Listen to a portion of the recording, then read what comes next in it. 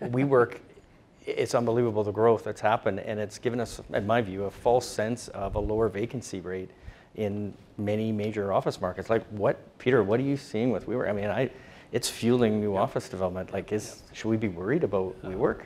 It, it, it's a huge growing force, but what we've learned is, is once upon a time when the markets weren't as strong, that you know landlords were giving out their space. They were not only taking in WeWork, but they were paying for the TI. So, you know, it became something where it, people started to go, "Wow, they're actually really successful."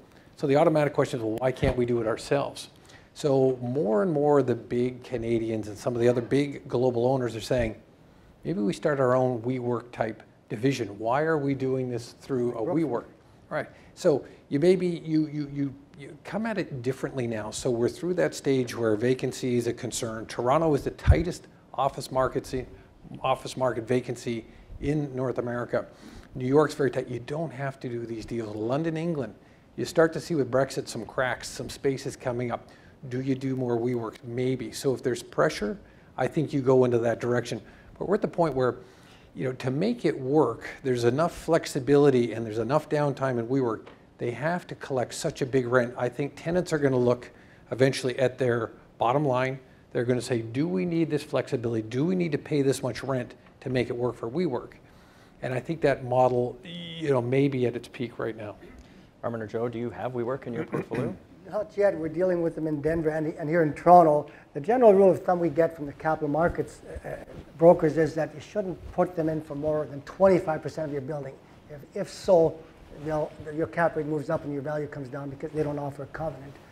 Uh, but it's a, it's a good concept. They've become a bit of a cult. They have a following. They do sublease in, in large scale to the, the, not the Amazon, but the Googles of the world maybe on a short-term basis. And so far, they're paying the rent. They're not in default anywhere. But the flip side is they don't offer a covenant either. And they really they compete with you as a landlord. So they take space in your building, and then all of a sudden you're leasing against them. So it's it's a bit of a flawed model in some points.